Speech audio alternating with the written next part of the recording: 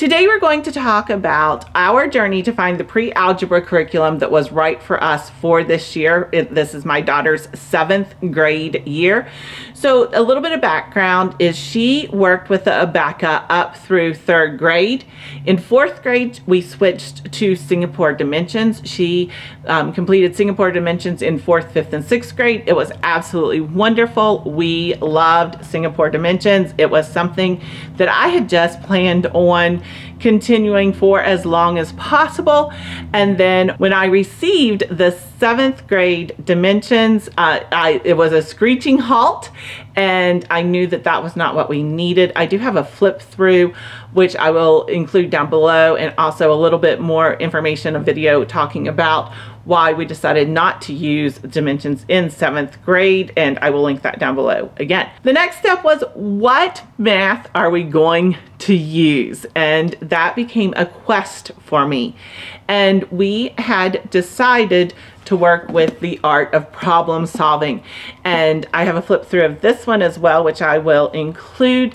And my daughter could do this. We started with the art of problem solving this year. My daughter completed a few chapters. She was getting the correct answers. She was able to do the problems. But the way that the art of problem solving is set up is that you were probably going to get it wrong to begin with, and then they will take you through the thought process for you to then be able to get um, to understand it and hopefully get the problems correct.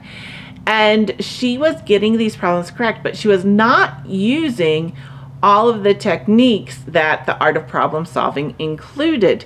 She was reverting back to the techniques that she had learned from Singapore Dimensions, which are fine. They're, they work correctly. But what was my concern became her math confidence. When we switched from Abeka to Singapore Dimensions, we really fought on math confidence, and I will link that video below. But she had regained her math confidence. It was really good. She knew how to do the problems. She had confidence in her math skills, and I wanted to keep that up. I wanted to continue with it. And the art of problem solving just wasn't doing that my daughter was learning she was reverting back to a lot of what she had done in dimensions but she was learning with the art of problem solving.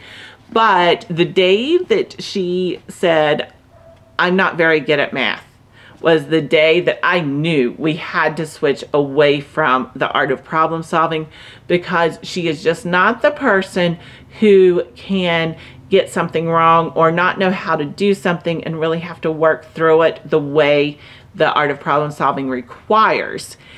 And so we put it away. Now, she was not happy with that. She wanted to keep on working with the art of problem solving because they were relatively short lessons. She was still getting the answers correct at the end of the day, and she just didn't want to put this away but I made an executive decision and decided that we needed to put it away.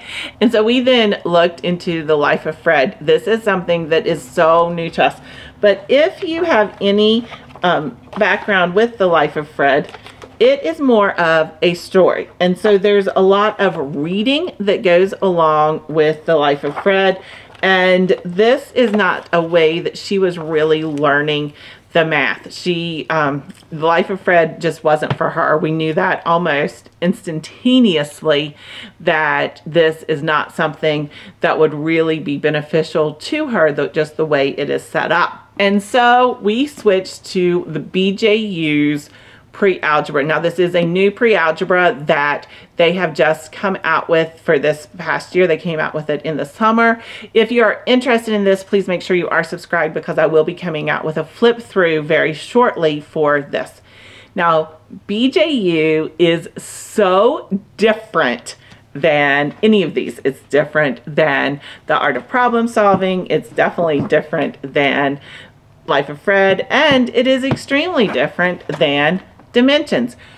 But what it does is it gives a lot of problems. There are a lot of problems. I'm very thankful the way it's set up because it doesn't expect the student to do all of the problems that it is given. But there are plenty of problems to be able to know whether my daughter understands a concept or whether she doesn't. So this is um, something that we are really enjoying right now. She does not like the number of problems per se that she has to do, but it is showing where there are any um, holes where there's something where she needs to review a concept, where there is something that she is not totally grasping, but also the way it is set up is when there is something that she already knows, it is very easy for us to keep moving on and building on that concept.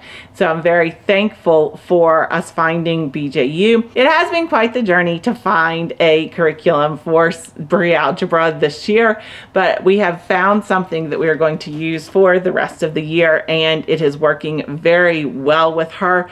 The concepts that she learned, the way that she was taught, from Dimensions has helped her so much in working with BJU. So this was actually an easier transition from Dimensions to BJU than what I initially thought it was going to be.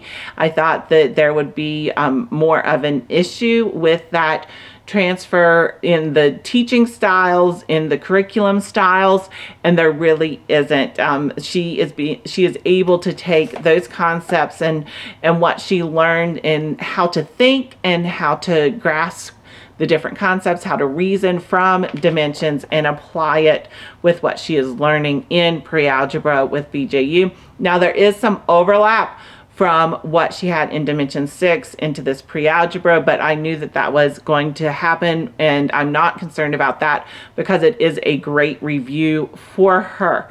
So she still wants to come back to the art of problem solving and we might, but I need to make sure that her math confidence is where it needs to be before we do that.